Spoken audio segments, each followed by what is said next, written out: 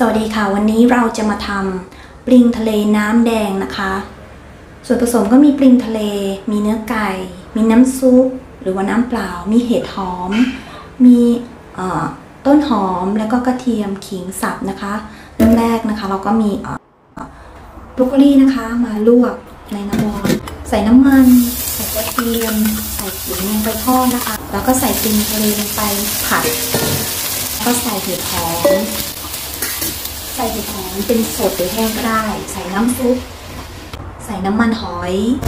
แล้วก็ใส่น้ำตาลหนึ่งช้อนโต๊ะใส่ไก่ลงไปนะคะ ใส่น้ำมันงาจะหอมแล้วก็ใส่น้ำแล้วเราใส่ซีอิ๊วดำลงไปด้วยนะคะปิดฝาไว้ตุ๋นไว้ประมาณหนึ่งชั่วโมง เราก็ใส่แป้งมันลงไป เรียบร้อยแล้วก็ใส่ต้นหอมหั่น